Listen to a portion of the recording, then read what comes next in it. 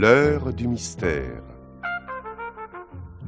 Germaine Beaumont a choisi pour vous ce soir un contrat très spécial par Henri Crespi avec Julien Guillaumard Martin, Jean-François Calvé Anselme, Paul Crochet, le commissaire Paris. Réalisation Jean-Jacques Vierme.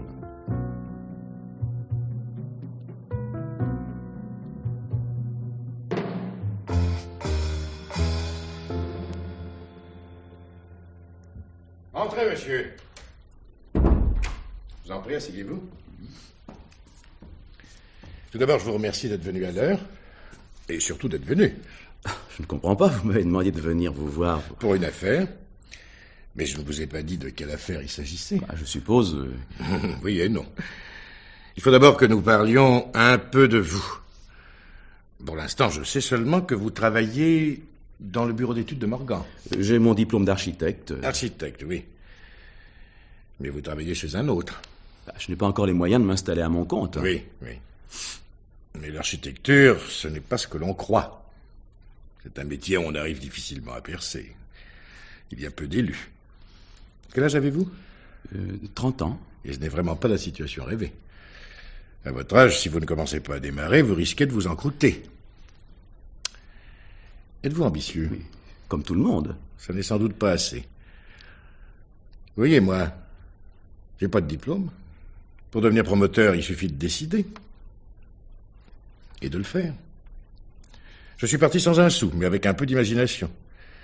Et ben maintenant, je fais pousser des villes entières. Avec des idées qui se transforment en pierre, je fais travailler les architectes. Et je peux faire leur fortune. Je le sais bien. Je peux faire la vôtre. Ne vous gênez pas. Oui, mais voilà. Pourquoi vous? Pourquoi vous plutôt qu'un autre? Mais parce que le travail que je fais chez Morgan vous convient. Non.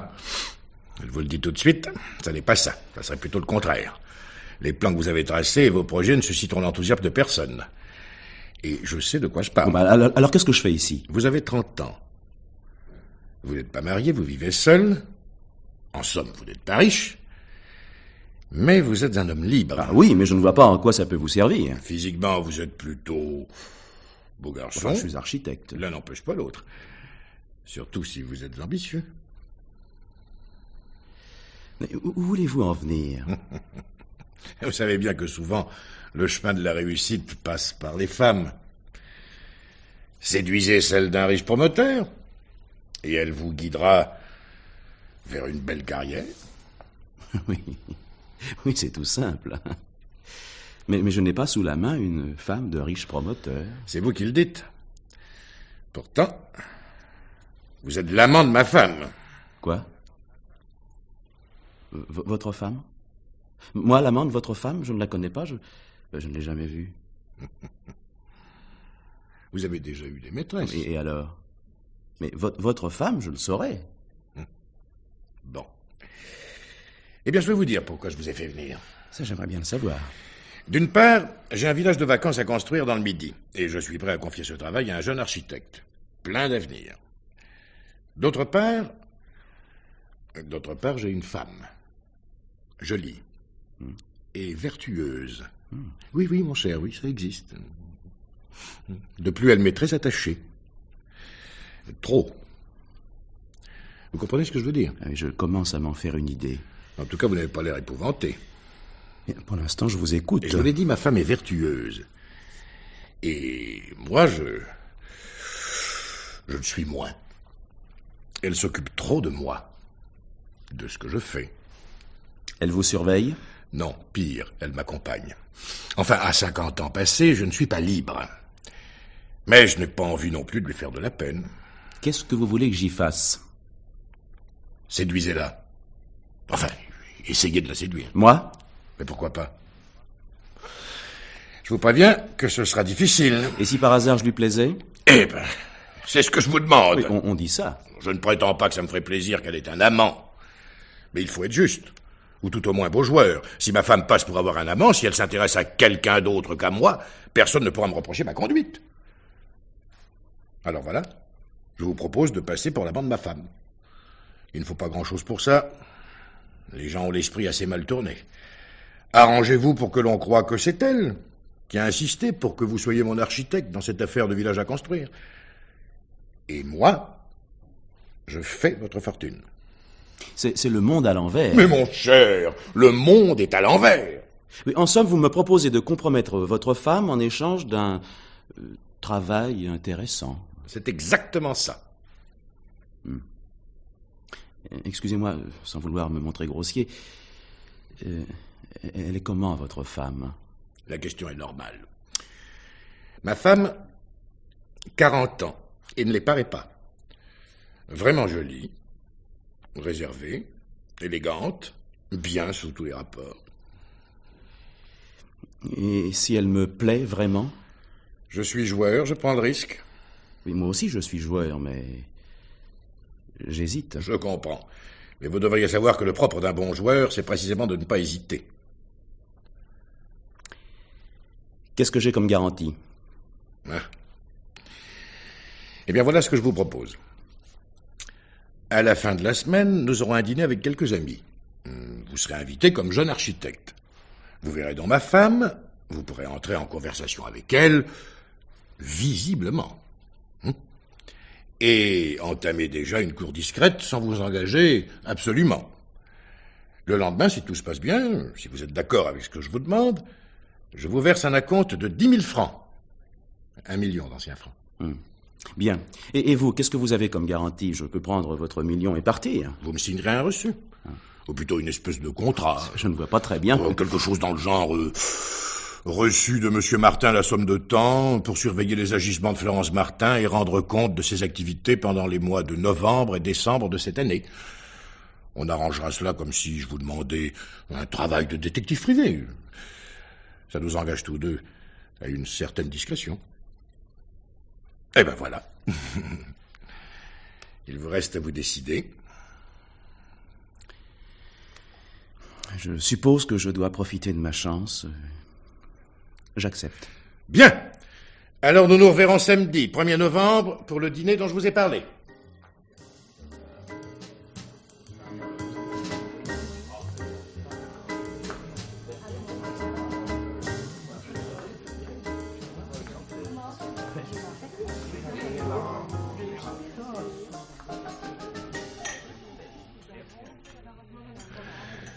Bonjour.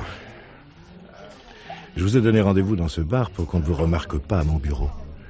Pour l'instant, il vaut mieux qu'on ne nous voit pas trop ensemble. Oui, c'est bien ce que j'avais compris.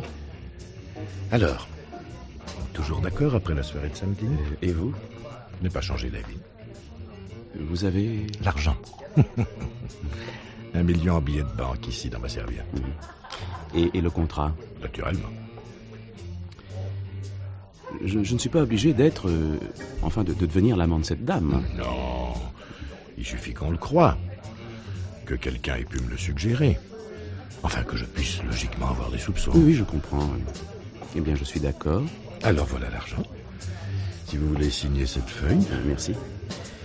Euh, permettez. Novembre, décembre. que, que va-t-il se passer entre-temps? Si je vois que tout se passe comme je le prévois, je pourrais, dans le courant du mois de décembre, vous mettre sur l'affaire du village. Mhm. Et je n'aurai plus besoin d'être le chevalier servant de Madame Martin. Euh, non. Après, je me débrouillerai. Elle aura pris l'habitude de m'accorder plus de liberté. Mais voilà. C'est quand même un contrat spécial. Oui, sans doute. Vous prenez un whisky? Oui, volontiers. Barman, deux scotch, s'il vous plaît. À part ça, comment avez-vous trouvé ma femme? Eh bien, mais je, je l'ai trouvée charmante, euh, telle que vous me l'aviez décrite. Elle est effectivement très jolie. Mais encore. Que voulez-vous que je vous dise? Je me suis pas jeté sur elle, c'est pas son genre, ni le mien. Elle vous plaît? Dans le sens où vous l'entendez, je n'en sais rien. Vous savez, d'être en service commandé serait plutôt un frein au sentiment. Et puis un soir comme ça, c'est un peu rapide. Je pense que vous n'avez pas été maladroit. Elle ne m'a rien dit contre vous après le dîner. Elle m'a même fait remarquer que vous étiez sympathique. Alors vous êtes satisfait? Pas forcément. Parce que lorsqu'un homme plaît à une femme, elle n'en parle pas à son mari. Du moins, la mienne. C'est déjà arrivé? Oh, Excusez-moi, je suis indiscret. Mais pas du tout. Elle m'a toujours parlé des gens que nous avons rencontrés. Je vous dis qu'elle est vertueuse. Et c'est ce qui a toujours fait peur aux hommes. Ils n'ont pas la patience. Et je suis payé pour être patient. C'est un peu ça. Merci. Dites-moi, avez-vous prévu de la revoir? Je n'en étais pas encore au point de lui donner rendez-vous. Évidemment. J'ai bien pensé qu'il fallait que j'organise vos rencontres. Comme si vous les aviez concertées. Personne ne devra soupçonner que ça puisse venir de moi, mais entre nous, c'est différent. Chaque fois que ce sera possible, je vous aiderai. Et, mon travail chez Morgan Vous pouvez bien prendre quelques libertés. Oui, mais je ne tiens pas à perdre mon emploi. Oh, pas tout de suite, ça vaudra mieux. Plus tard, vous n'en aurez plus besoin.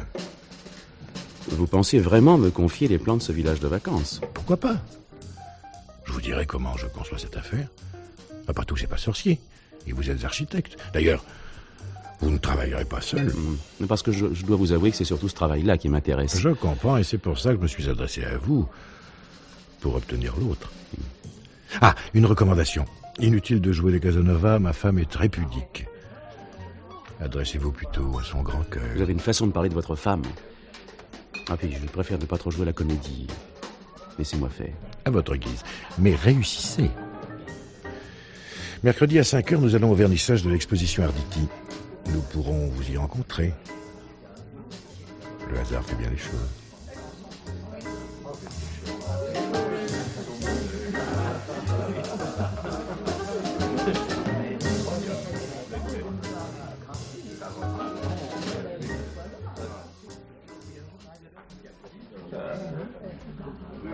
Très bien votre arrivée. J'aime beaucoup la peinture d'Arditi. C'est à ma femme qu'il faut dire ça.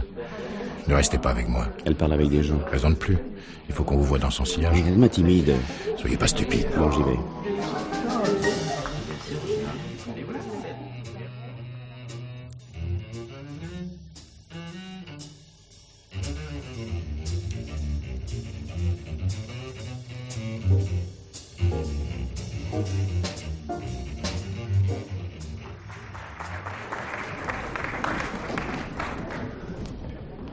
N'ai rien compris.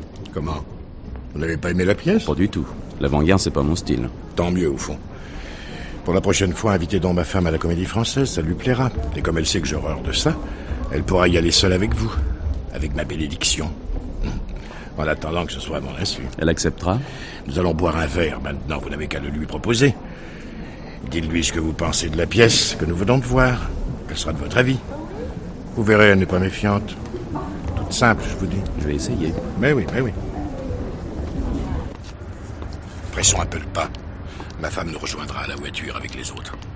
Vous avez quelque chose à me dire? Oui. C'est la dernière fois que nous dînons tous ensemble. J'ai horreur des ménages à trois. En public. Je ne tiens pas à passer pour un aveugle ou un mari complaisant. je suis de votre avis, je ne tiens pas non plus à ce que les gens croient que je me moque de vous. Alors je vais prétexter une soirée d'affaires et vous pourrez inviter ma femme à dîner. Hum. Elle est déjà venue seule avec moi au théâtre. Vous ne croyez pas qu'elle aura peur de se compromettre Bon, pensez-vous. Elle ne sait pas ce que c'est. Si vous trouvez une raison honorable, elle ira même chez vous. Elle ne soupçonne pas les arrière-pensées, ne voit pas le mal. Vous pouvez lui faire le coup des venez voir mes estampes japonaises, elle arrivera en toute innocence. Mais si vous vous montrez trop entreprenant ou grossier, vous aurez affaire à sa vertu. Une vertu qui sort les griffes et une vigueur insoupçonnée. comment avez-vous fait pour l'épouser? L'amour, mon cher ami, le vrai amour est une vertu. Elle a aussi celle-là. L'amour qui comprend le don de soi à celui qui vous aime aussi. Et vous Vous aviez cette vertu d'aimer? Oh, nous étions jeunes. Elle l'est toujours. Oui, mais pas moi. Vous êtes un homme étonnant. Réaliste, peut-être. Sans passion. Bon, n'oubliez pas que le temps passe, qu'il va falloir parler de cette affaire de village. Venez mardi prochain à 6 heures au bar de l'avenue Montaigne. Nous ferons le bilan.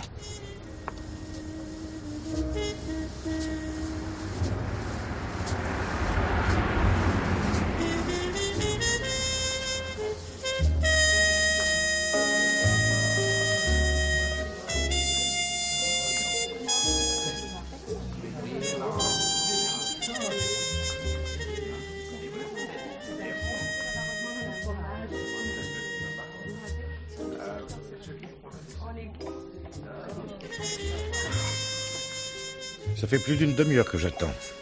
Vous avez cessé d'être exact. Oh, les encombrements de voitures... Ah, je vous en prie, je vous en prie.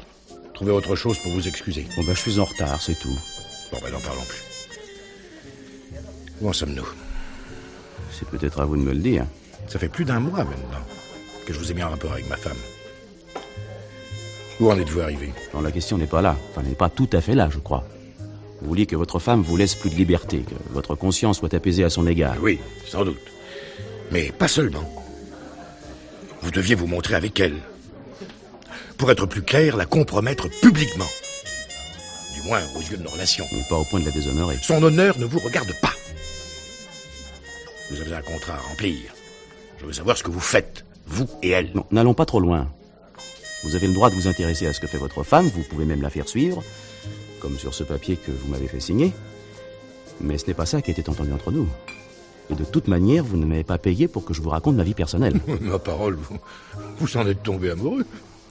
L lorsque vous m'avez invité à dîner, je suis venu.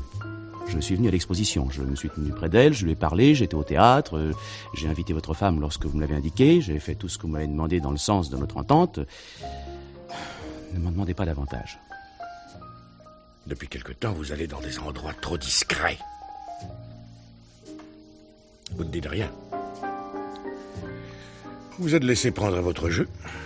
Après tout, c'était un risque à courir. Soyez amoureux si vous voulez, mais je le répète publiquement. Je n'ai pas à discuter de mes sentiments personnels. Et ils ne vous concernent pas. À première vue, c'est possible. Mais il ne faut pas vous leurrer. Si j'en parle, c'est que ma femme en est un écho. Et ce n'est peut-être pas ce que vous croyez. Ma femme est très gentille, très généreuse. Elle ne veut pas vous heurter, mais... Mais vous l'excédez, si vous voulez le savoir. Elle n'était pas fâchée de trouver une relation amicale pour l'accompagner à la comédie française, mais elle ne pensait pas qu'elle tomberait sur un soupirant ennuyeux. Elle vous a dit ça? Plus que ça encore. J'attendais qu'elle vous recommande auprès de moi, qu'elle insiste pour que je vous confie la construction du village, et au contraire, elle me demande de la débarrasser de votre présence, d'éviter des relations suivies avec vous, et pour ça, de ne pas vous faire travailler. Non, non, je ne vous crois pas. Vous cherchez un prétexte pour m'évincer. Et vous savez que j'ai quitté mon emploi chez Morgan. Mais non, vous vous trompez, je n'ai pas l'intention de vous priver de ce travail. Je ne tiens pas à ce que vous révéliez notre accord. De toute manière, ne nous énervons pas. Ce que je vous ai dit, c'est surtout pour que vous ne me fassiez pas d'illusions sur ma femme. Je ne me laisserai pas influencer par elle, mais je vous demande quand même de ne pas vous montrer trop maladroit. Oh, tout ça est trop compliqué pour moi. Vous n'êtes pas très patient. Oui, c'est vrai, je suis trop nerveux en ce moment. Je vais aller me reposer. Anne, la semaine prochaine, vous serez presque au bout de vos peines. Téléphonez-moi et venez à mon bureau. Cette fois, nous parlerons sérieusement de notre village de vacances. Il faudra sans doute que je fasse un saut dans le midi pour voir les autorités de l'endroit. J'avoue que je préfère parler d'architecture. Oui. Mais d'ici là, ne lâchez pas ma femme d'une semelle.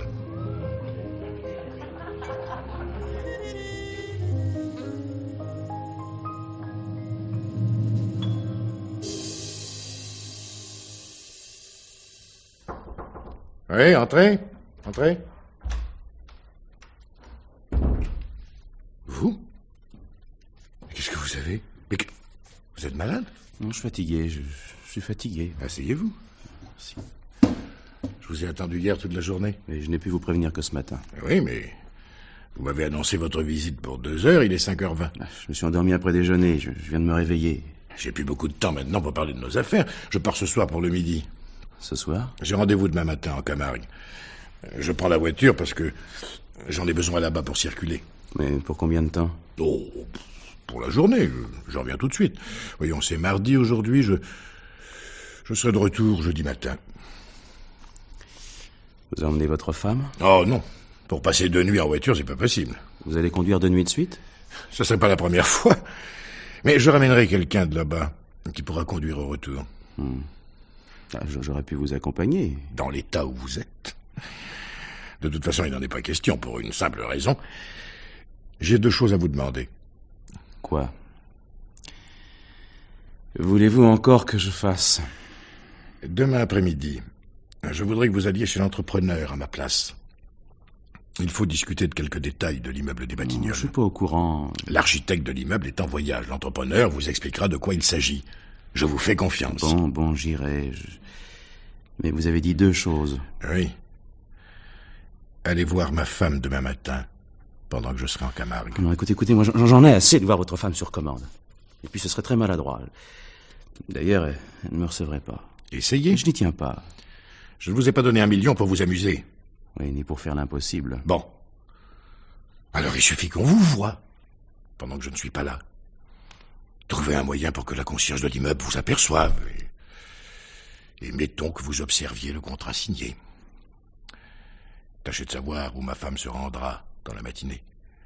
Elle a un cousin architecte qu'elle veut mettre sur l'affaire de Camargue, et je voudrais savoir si elle ne va pas profiter de mon absence pour aller le voir. Je ne peux pas supporter ce type, et ce ne serait pas bon pour vous. Je préfère vous laisser l'affaire. Mais je comprends que tout ça ne vous soit pas agréable.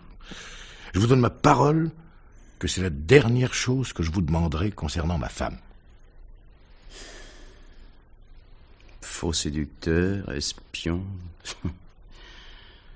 Vous m'aurez engagé dans toutes les activités qui me répugnent le plus. Pas tout encore. Vous avez trouvé mieux? Oui. Architecte en renom. Vous pouvez plaisanter. Ah, Je suis à bout de nerfs. Un million. Il faut le gagner. Je ne savais pas que c'était aussi éprouvant. Bon. Mais c'est fini maintenant. Il n'y a plus que demain. Je compte sur vous. C'est entendu. Mais c'est la dernière fois.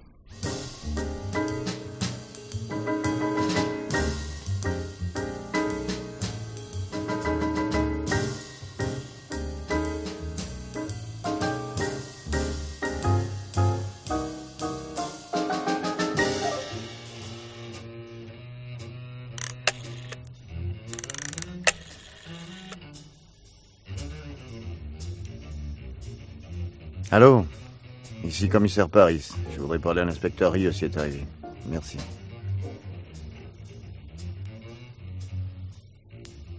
Ah oui C'est vous Rieux Bien. J'ai laissé sur mon bureau une feuille avec une adresse.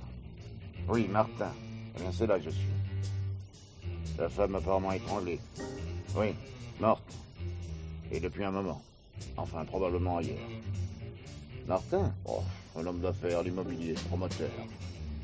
Il arrive de voyage ce matin. Non, non, pas de cambriolage. Je pas. Et envoyez-moi le médecin légiste et tout le Bataclan. Arrivez vous aussi. Je vais pas rester là, vous verrez la concierge, le locataire, tout le monde. Oui? Le mari? Il attend dans une autre pièce. Je le vois tout de suite. Ah, dites donc. La discrétion. Nous sommes dans le 16e. Ah Oui, cet après-midi. À mon bureau.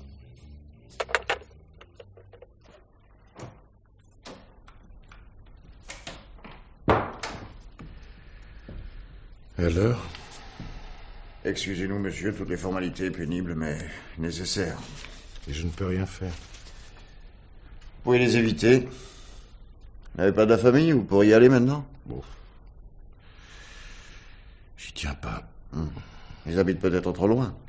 Oui et non, une sœur, quelques cousins que je ne vois presque jamais. Et les parents de ma femme sont tous en province. Il faudra les prévenir. Oui. Mais pour l'instant, je sais pas, vous n'avez pas d'amis? Les amis. Vous savez bien ce que c'est que les amis. Ils vont poser des questions, vouloir me distraire, m'offrir à boire, me prodiguer des bonnes paroles, des souvenirs. Non, tout ça, c'est de la comédie. Ils seront surtout curieux de démêler une affaire policière. Je, oh, je comprends ça, même moi. En ce moment, je peux m'empêcher de réfléchir, d'essayer de trouver, de. de chercher. Oui, oui, bien sûr. C'est donc si facile de tuer quelqu'un. On sonne, on entre et voilà. Et on ressort. Personne n'a rien remarqué.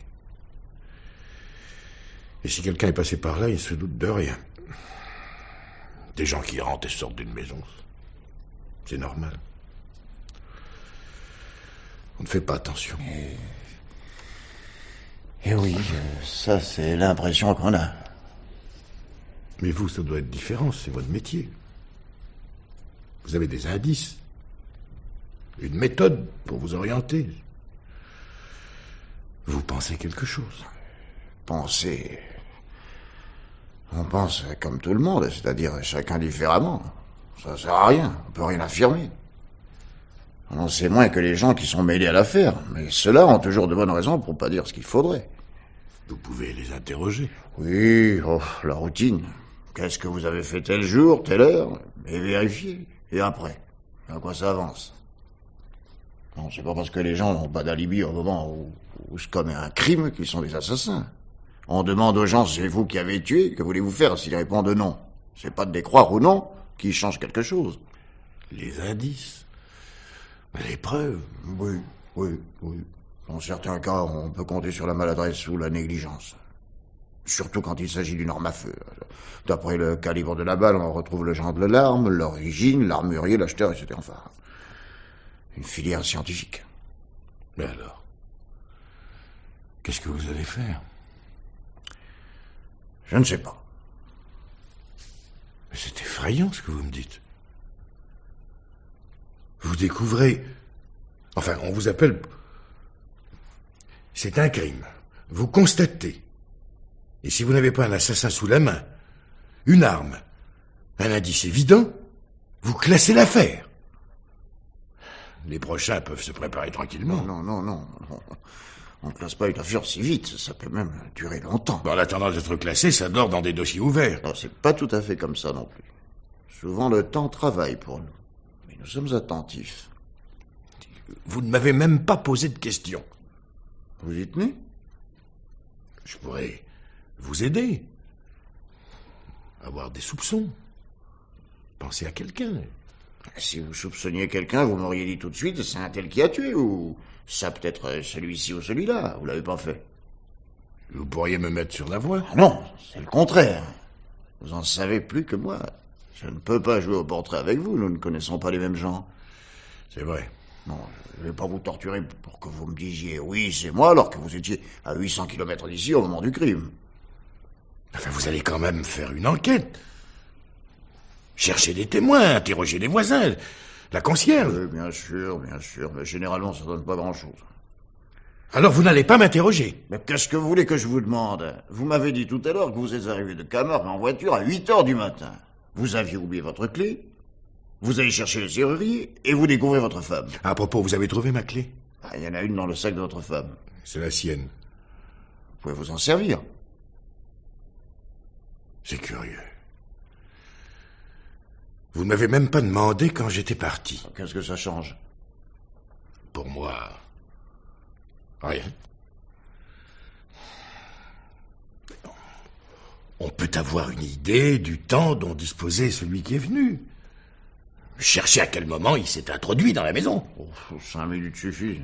Mais il était là à l'heure que nous indiquera le médecin légiste, approximativement. C'est donc pas le jour de votre départ qui est important. Je suis parti mardi soir après minuit.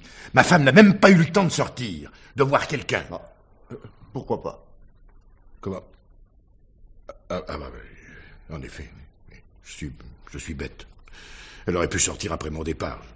Mais je ne peux pas l'imaginer. Si quelqu'un l'a vu mardi soir, comment le savoir si on ne vient pas nous le dire? Son lit n'est pas défait, mais ça prouve rien. Elle aura eu le temps de le faire en se levant le matin. J'y comprends rien. Mais vous, vous, faites quelque chose.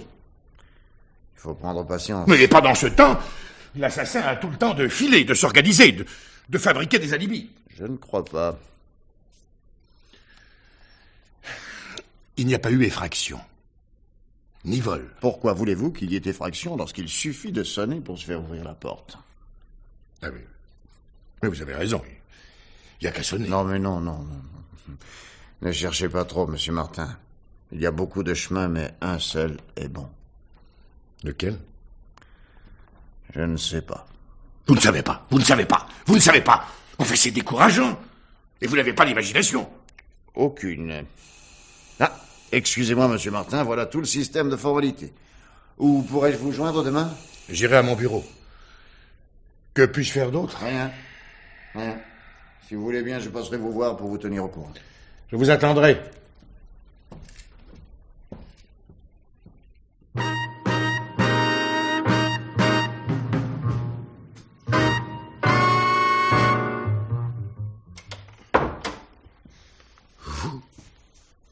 Qu'est-ce que vous êtes venu faire ici Vous êtes fou Monsieur Martin, je, je ne comprends pas, je ne comprends pas. Mais qu'est-ce qui vous a pris? Pourquoi avez-vous fait ça? Quoi? Que voulez-vous dire? Je vous avais dit de la voir, de la surveiller, de, de la protéger. Je suis resté toute la matinée au café d'en face. Elle n'est pas sortie. Je suis monté, j'ai sonné, rien, rien. Je- ça ne répondait pas, alors j'ai téléphoné, ri- rien non plus, le silence. Je n'ai vu personne, rien. Pourquoi? Pourquoi? Je ne comprends pas. Qu'est-ce que vous me racontez? Rien vu. Pourquoi l'avez-vous tué? Pourquoi avez-vous tué Florence? Je ne vous ai jamais demandé une chose pareille. Qui? Moi? Vous ne croyez tout de même pas J'ai tout de suite compris. Parce qu'elle ne voulait pas que vous participiez à cette maudite affaire. Vous l'avez éliminée. Foutez-moi le camp, il est encore temps. Je n'ai rien dit à la police. Non, non Je ne veux pas de scandale, je n'ai pas besoin d'un coupable. Mais bon Dieu Qu'êtes-vous venu faire ici? Vous ne pensiez pas que maintenant j'allais vous prendre dans cette affaire Je ne suis pas le monstre que vous croyez. Je ne voulais pas la mort de Florence. Ah, je comprends. Vous venez chercher de l'argent. Vous voulez que je vous donne de l'argent pour partir Ou pour ce que vous avez fait Vous pensez pouvoir me faire chanter peut-être? Je l'aimais. Vous voulez dire que c'est parce qu'elle vous repoussait que vous l'avez tuée Non. Vous ne comprenez rien. Je l'aimais. Je ne l'ai pas tué. Mais Essayons de ne pas nous laisser emporter, de voir clair. Comment voulez-vous que je vous croie? Je veux bien essayer, mais Je ne sais plus quoi dire, moi. Je... Cette situation est absurde. Pourquoi avez-vous voulu que, que je connaisse votre femme, que je la compromette, que je la surveille? Oui. Oui, elle m'a repoussé. Pourquoi? Elle vous aimait. C'est vrai qu'elle était vertueuse. Vous vouliez l'éprouver?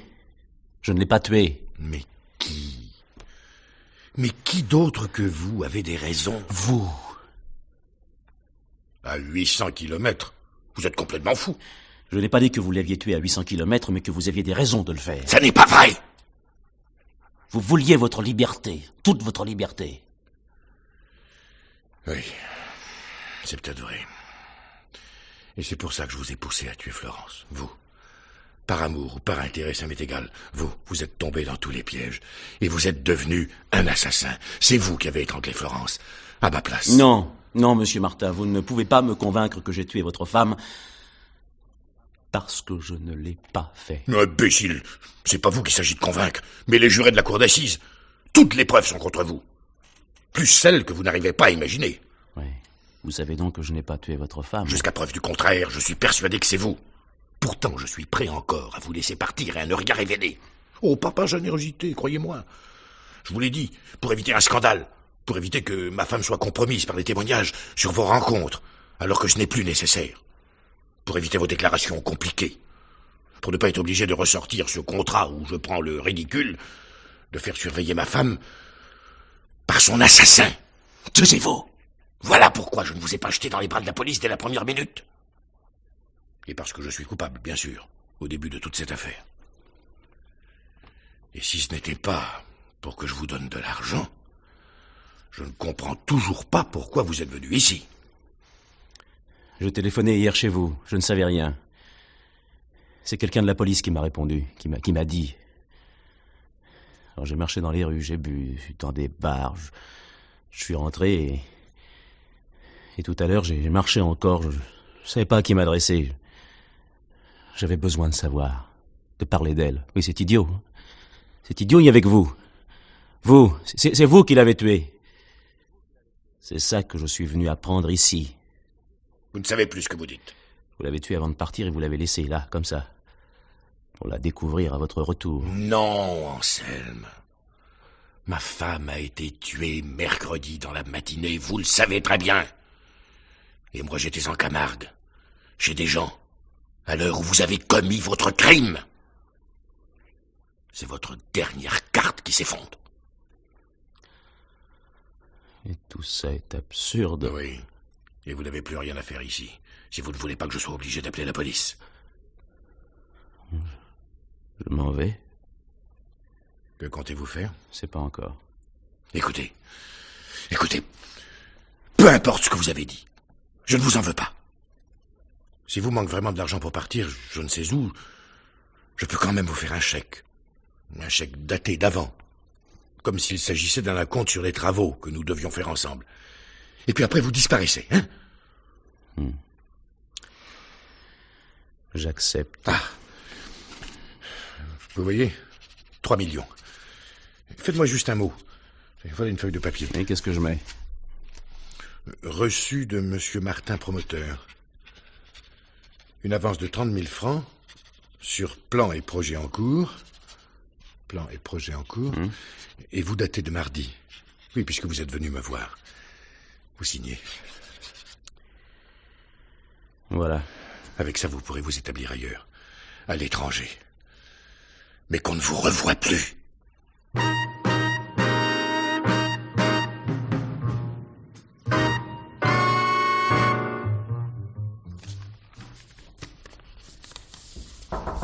Entrez. Ah, commissaire. Je vous dérange pas dans votre travail Oh, vous savez, j'ai pas le cœur à travailler, j'essaie de classer quelques papiers. Asseyez-vous. Non, merci, je préfère rester debout. Alors, vous avez du nouveau? Pas grand-chose. La concierge, les voisins, des commérages. Quel commérage? Madame Martin avait dit à la femme de ménage qu'elle regrettait de ne pas partir avec vous pour la Camargue. De nuit en voiture, c'était pas possible. Pour elle. Bien sûr. C'est tout ce qu'on vous a dit. On m'a parlé d'un homme que l'on voyait quelquefois avec votre femme. Quel homme? Je ne sais pas. Vous ne dites rien? Je vous écoute. Vous n'aviez pas fini. Cet homme, vous n'avez pas cherché à savoir qui c'était? Pas spécialement. Ensuite? C'est à peu près tout ce que j'avais à vous dire. Le médecin légiste a confirmé que votre femme avait été étranglée entre 9h et 10h du matin mercredi, et l'autopsie révèle qu'elle était à jeun. Ne ne prenez jamais le petit déjeuner. C'est ce que nous a dit la femme de ménage, qui n'était pas là, bien sûr, puisqu'elle ne vient pas le mercredi et le vendredi. Et vous n'avez rien trouvé d'autre Aucune trace, aucun indice Rien de suspect Non. Non. La concierge a bien remarqué un type qui est rentré dans la maison vers 10 heures et qui est ressorti peu après, mais. elle n'a pas pu en donner un signalement. Peut-être. un représentant. Peut-être. Et peut-être l'assassin. Comment savoir? Enfin, c'est à vous de le dire. Ah, Et puis, ah, il y a un autre type qui, qui passait sa matinée au café d'en face, avec l'air de surveiller la maison. Et ça ne vous fait rien. Vous ne le cherchez pas. Et comment voulez-vous vous retrouver dans Paris, un consommateur de café, si c'est pas un habitué? Mais si c'était le même. L'homme qui voyait ma femme, celui qui entrait dans la maison et qui attendait au café. Pourquoi voulez-vous que ce soit le même? Mais je ne veux rien, moi. Je, je cherche, j'imagine, je suppose. Et vous, vous avez l'air de vous désintéresser complètement de la question. C'est pas comme ça que vous arriverez à quoi que ce soit. Vous avez une singulière façon de pratiquer votre métier. Chacun son tempérament. C'est pas une question de tempérament, comme vous dites, mais de conscience professionnelle, de capacité. Je fais ce que je peux. Et vous ne voyez pas plus loin que le bout de votre nez. Il paraît, enfin, il paraît, que c'est là que se situe le flair. Vous paraissez plus doué pour trouver des plaisanteries que des coupables. Ah, je voudrais vous y voir. Enfin, vous dites que ma femme sortait avec un homme. Renseignez-vous. C'est plus facile pour vous que pour moi. Euh, vous. Vous n'avez pas une idée? Nous avons beaucoup de relations.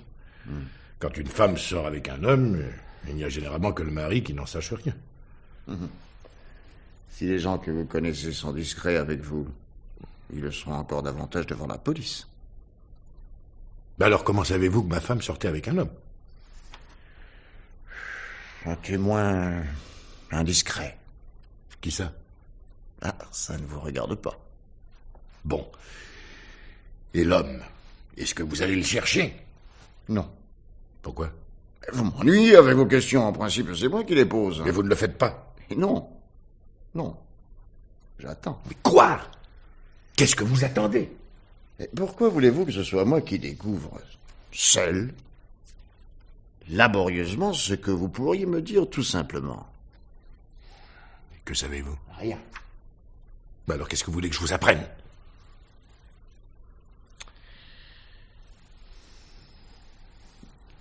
Alors, Alors quoi? Parlez-moi de Monsieur Anselme. Anselme?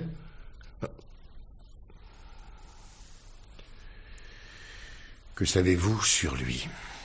Ce que vous allez me dire. Vous l'avez trouvé? Vous vouliez que je vous pose des questions, je vous en ai posé une. Ben, C'est que je...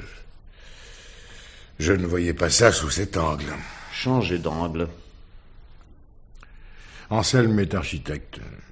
Il travaille dans l'atelier de Morgan, où je l'ai connu. Et vous le soupçonnez? Pourquoi? J'ai des raisons de le soupçonner Je ne vois pas ce que vous voulez me faire dire. Mais tout ce que vous savez de Monsieur Anselme. Bon. Mais c'est une histoire compliquée. Il faudrait commencer par le début. Je vous écoute. Mais il y a quelque temps, je ne sais pourquoi, je me suis demandé si ma femme avait un amant. L'idée m'est venue de la faire surveiller. Je ne voulais pas m'adresser à une de ces officines spécialisées. Alors j'ai pensé à Anselme, en me disant que s'il acceptait d'opérer cette surveillance, ce serait moins euh, voyant. Je l'ai donc présenté à ma femme, et par ailleurs, je devais lui offrir un travail important. D'abord, Anselme m'a appris que ma femme n'avait pas d'amant. Et puis. Et puis, il en est tombé amoureux.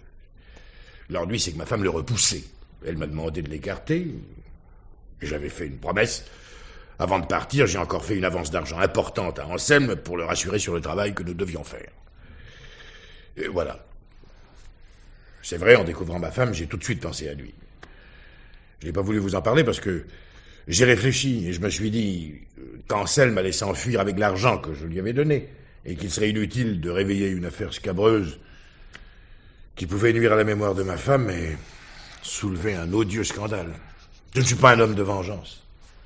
Et je me serais contenté d'une affaire classée dans le silence, à condition que l'enquête fût menée. Vous deviez découvrir le criminel par les faits. L'homme qui est venu dans la maison, celui qui attendait au café, ne pouvait être qu'Anselme. Vous accusez donc Monsieur Anselme du meurtre de votre femme.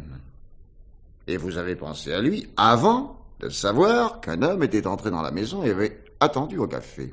Si c'est le même. Qui est-ce d'autre? Je ne sais pas. Mais il y a dans cette histoire quelque chose d'invraisemblable. Que voulez-vous qu'un homme aille attendre au café s'il vient de commettre un meurtre? Sa victime ne risque pas de sortir. Je lui avais demandé de surveiller l'immeuble. À ce moment-là, il voulait sans doute se donner un alibi. Il n'avait peut-être pas encore l'intention de s'enfuir. Qu'est-ce qui vous fait croire ça? Mais, euh, le chèque que je lui ai remis mardi, il l'a encaissé qu'aujourd'hui. Avez-vous des preuves de ce que vous avancez? Tiens. Voilà. Voilà les deux reçus que j'ai de lui. Et pourquoi Anselme aurait-il tué votre femme? Pour se venger de l'avoir repoussé et de vouloir l'empêcher de faire ce travail important. Pour- Elle morte, il était libre. Oh, C'est une façon de parler. Lorsqu'on tue quelqu'un en accumulant autant de preuves contre soi et que l'on n'a même pas d'alibi, on n'a pas beaucoup de chances de rester libre. Sauf quand on part à temps pour l'étranger, ou que l'on pense que je ne dirai rien pour éviter le scandale. Monsieur Martin, la mécanique de cette histoire fonctionne à peu près.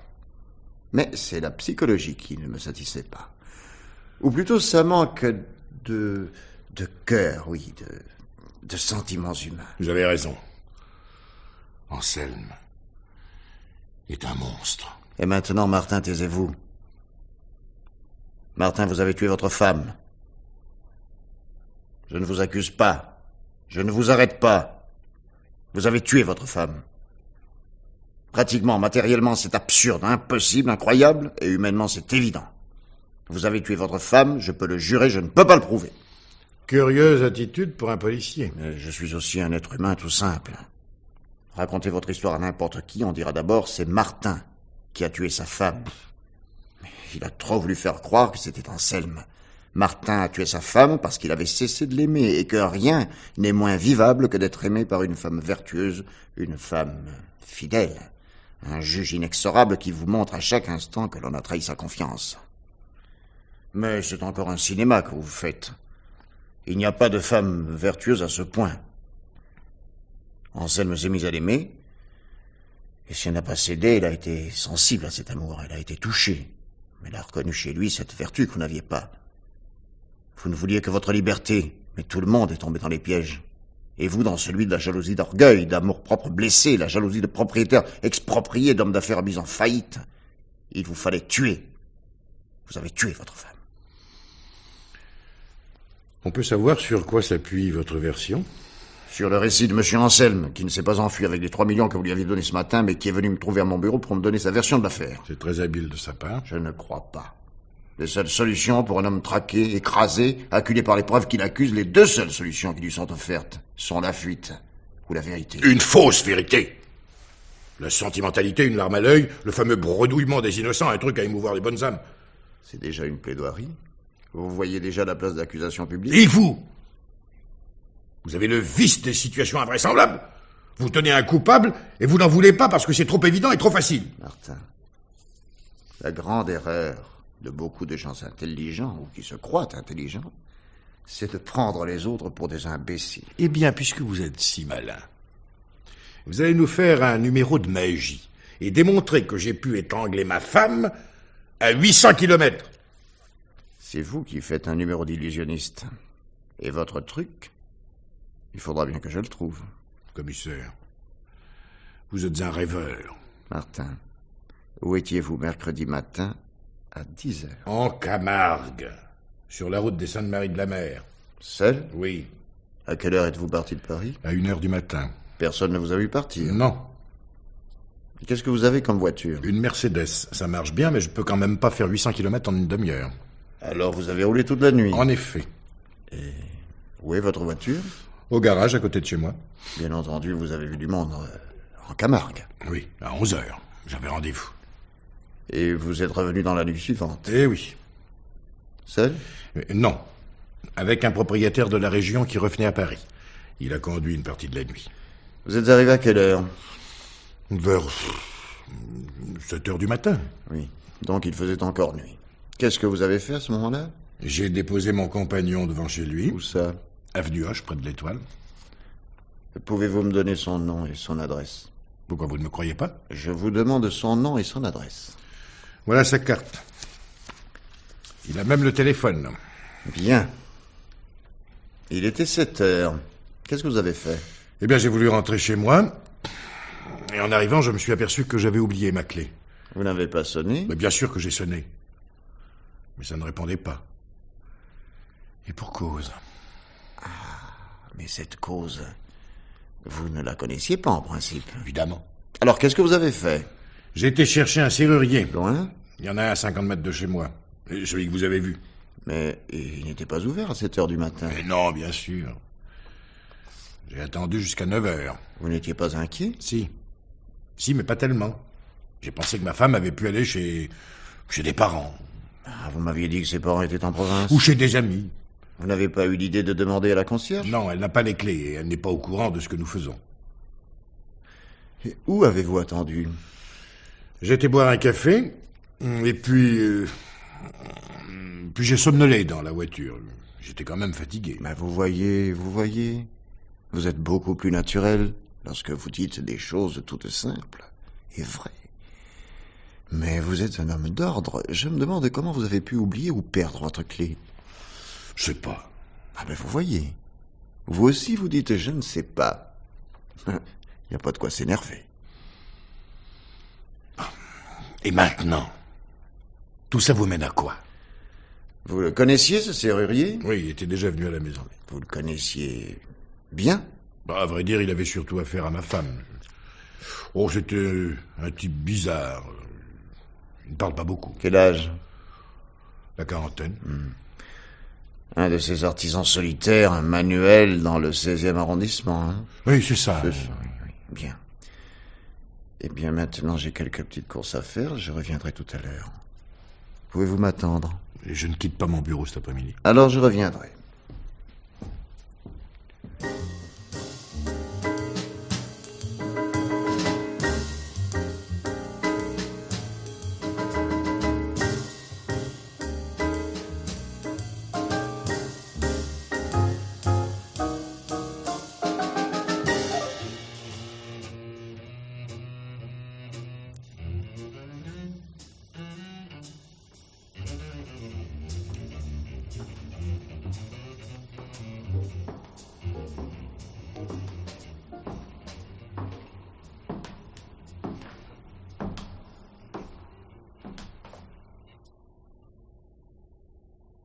Qu'est-ce que vous faites là? Je vous attendais. Mais moi, je vous ai attendu jusqu'à maintenant à mon bureau. Cette voiture est bien la vôtre. hein? Oui. Vous aviez l'intention de partir avec? Ben, pas du tout. Ah, oui, je vois. Vous croyez que je voulais m'enfuir? Mais j'ai aucune raison. Vous n'avez pas besoin de votre voiture? Absolument pas. Alors qu'est-ce que vous êtes venu faire? Eh bien, je, je, je- je- je venais voir si par hasard je n'avais pas laissé dans la boîte à gants les, les clés que j'ai perdues. Mais vous n'avez pas eu l'idée de les chercher quand vous avez voulu rentrer chez vous? Si, mais je voulais vérifier encore une fois. Elles y sont pas. Dites donc, à défaut d'Anselme, vous avez essayé de m'aiguiller sur votre serrurier, c'était pas une mauvaise idée. Comment que... Qu'est-ce que vous dites? Pour trouver la clé de l'énigme, Décidément, vous aimez les jeux de mots. oui. Les mots, ça donne des idées. Écoutez-moi bien. Vous avez fait une erreur, celle de parler de magie. Je vous ai traité de prestidigitateur, j'ai dit que je trouverais votre truc, et tout ça m'a fait penser au musical. Vous voyez Les associations d'idées. Une femme disparaît, elle entre dans une malle, elle disparaît, puis réapparaît. Vous voyez ce que je veux dire? Mais qu'est-ce que c'est que ce charabia Décidément, vous prenez les gens pour des imbéciles. Mais je sais bien que vous m'avez compris. Si vous y tenez, je peux bien aller jusqu'au bout. Vous avez tellement insisté sur ces 800 kilomètres qui vous séparent de votre femme que j'ai fini par en douter. Comme on doute du discours de l'illusionniste qui prétend que la femme est dans la malle alors qu'elle est passée dans une trappe. Je vais être clair. Personne n'a vu votre femme à Paris pendant que vous étiez en Camargue. Et rien ne prouve qu'elle était chez elle. Personne ne vous a vu partir dans la nuit de mardi à mercredi. Et personne ne vous a vu mercredi avant 11 heures du matin, sauf votre femme, que vous avez emmenée avec vous. Vous avez roulé la nuit, à 10 heures du matin mercredi, dans un lieu désert en Camargue, vous avez étranglé votre femme et vous l'avez mise dans la malle, enfin, le coffre de votre voiture. Vous arrivez à 7 heures du matin, vous déposez votre compagnon chez lui, il fait nuit, personne ne vous voit monter le corps de votre femme. Vous rentrez avec votre clé, vous la perdez, et vous attendez tranquillement que le serrurier se réveille pour avoir un témoin. Euh, Vous aviez bien arrangé votre affaire pour que l'on soupçonne Anselme. Alors, une fois que cette idée m'est venue, je n'avais plus qu'à la vérifier. Une fois Anselme arrêté, personne ne serait allé faire ouvrir le coffre de votre voiture par un serrurier pour y trouver ce grand vide d'un coffre dans lequel il faut laisser la place d'un corps. Les prélèvements que l'on vient d'y faire vont passer dans un laboratoire et je ne doute pas un instant que l'on y trouvera les traces du passage de votre femme. Vous voyez, ce n'est pas la distance qui compte, c'est le temps. Et je vous l'ai dit, le temps travaille pour moi.